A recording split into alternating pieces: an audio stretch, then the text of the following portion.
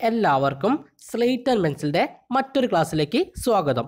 Operating സിസ്റ്റത്തിൽ നമ്മൾ ഇനി ഡിസ്കസ് ചെയ്യാൻ പോകുന്ന ടോപ്പിക്കാണ് പ്രോസസ്സ് ഒരു കമ്പ്യൂട്ടറിന്റെ ജനറൽ ആർക്കിടെക്ചർ നോക്കിയാൽ അതിൽ സി പി യു ഉണ്ടാവും പ്രൈമറി മെമ്മറി ഉണ്ടാവും സെക്കൻഡറി മെമ്മറി ഉണ്ടാവും. അപ്പം നമ്മുടെ ഏതൊരു പ്രോഗ്രാമും ഇനീഷ്യലി സ്റ്റോർ ചെയ്യുന്നത് സെക്കൻഡറി മെമ്മറിയിലാണ് എപ്പോഴാണോ നമ്മൾ ആ പ്രോഗ്രാം എക്സിക്യൂട്ട് ചെയ്യാൻ തുടങ്ങുന്നത് അപ്പോൾ ആ പ്രോഗ്രാമിനെ മെയിൻ മെമ്മറിയിലേക്ക് ലോഡ് ചെയ്യും. സെക്കൻഡറി മെമ്മറിയിൽ നമ്മൾ സ്റ്റോർ ചെയ്യുമ്പോൾ പറയുന്ന പേരാണെന്ത്? പ്രോഗ്രാം അപ്പോൾ സി പി യു എക്സിക്യൂഷന് വേണ്ടി പ്രോഗ്രാമിനെ സെക്കൻഡറി മെമ്മറിയിൽ നിന്ന് മെയിൻ മെമ്മറിയിലേക്ക് ലോഡ് ചെയ്യും. അപ്പോൾ അത് അറിയപ്പെടുന്ന പേരാണെന്ത്? പ്രോസസ്സ് സോ നമുക്ക് എക്സിക്യൂട്ട് ചെയ്തുകൊണ്ടിരിക്കുന്ന പ്രോഗ്രാമിനെ പ്രോസസ്സ് എന്ന് പറയാം. A process is basically a program in execution. The execution of a process must progress in a sequential fashion. ഒരു പ്രോഗ്രാം എന്നാൽ സെറ്റ് ഓഫ് ഇൻസ്ട്രക്ഷൻസ് ആണ് സി പി യു ഫസ്റ്റിലെ ഇൻസ്ട്രക്ഷനെ ആദ്യം എക്സിക്യൂട്ട് ചെയ്യും നെക്സ്റ്റ് ഇൻസ്ട്രക്ഷനെ രണ്ടാമത് എക്സിക്യൂട്ട് ചെയ്യും സോ ഒരു സീക്വൻഷ്യൽ ഫാഷനിലാണ് പ്രോസസ്സിനെ എക്സിക്യൂട്ട് ചെയ്യുന്നത് a process is defined as an entity which represents the basic unit of work to be implemented in the system പ്രോസസ്സിനെ മറ്റൊരു രീതിയിൽ ഡിഫൈൻ ചെയ്യുകയാണെങ്കിൽ സിസ്റ്റത്തിൽ ഇംപ്ലിമെന്റ് ചെയ്യുന്ന വർക്കിന്റെ ബേസിക് യൂണിറ്റിനെ റെപ്രസെന്റ് ചെയ്യുന്ന ഒരു entity ആണെന്ത്?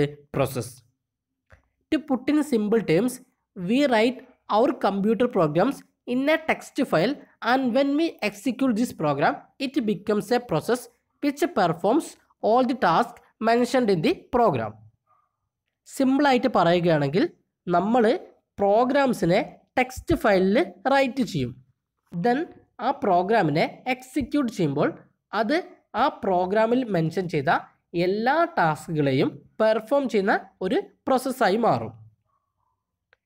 When a program is loaded into the memory and it becomes a process it can be divide into four sections stack heap text and data അപ്പോൾ നമ്മൾ ഓൾറെഡി പറഞ്ഞതാണ് എപ്പോഴാണോ ഒരു പ്രോഗ്രാമിനെ മെമ്മറിയിൽ ലോഡ് ചെയ്യുന്നത് അപ്പോൾ അത് പ്രോസസ്സായി മാറും.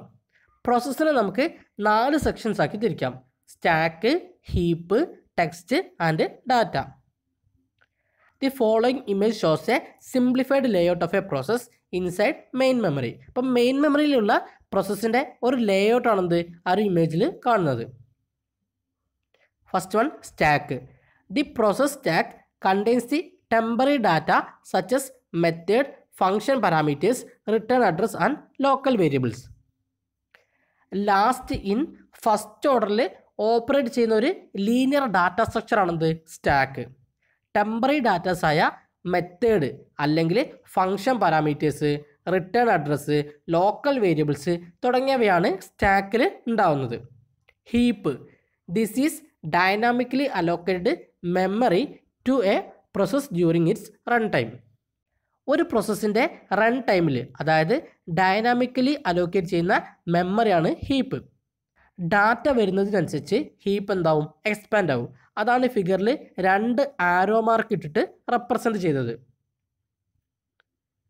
Text this includes the current activity represent by the value of a program counter and the content of the processor's registers അപ്പോൾ ടെക്സ്റ്റിൽ വരുന്നത് കറണ്ട് ആക്ടിവിറ്റിയാണ് അത് റെപ്രസെന്റ് ചെയ്യുന്നത് പ്രോഗ്രാം കൗണ്ടറിന്റെ വാല്യൂവും പ്രൊസസ്സർ രജിസ്റ്ററിന്റെ കണ്ടന്റും വെച്ചിട്ടാണ്. പ്രോഗ്രാം കൗണ്ടറിൽ നെക്സ്റ്റ് ഇൻസ്ട്രക്ഷന്റെ അഡ്രസ്സാണ് സ്റ്റോർ ചെയ്ത് വെക്കുന്നത്. Data the section contains the global and static variables അപ്പോൾ ഡാറ്റ സെക്ഷനിലാണ് ഗ്ലോബൽ വേരിയബിൾസും ലോക്കൽ വേരിയബിൾസും ഉണ്ടാവുക. അപ്പം ഇത്രയും കാര്യമാണ് നമുക്ക് പ്രോസസ്സ് എന്ന ടോപ്പിക്കിന്റെ ഇൻട്രൊഡക്ഷനിൽ പഠിക്കാനുള്ളത്.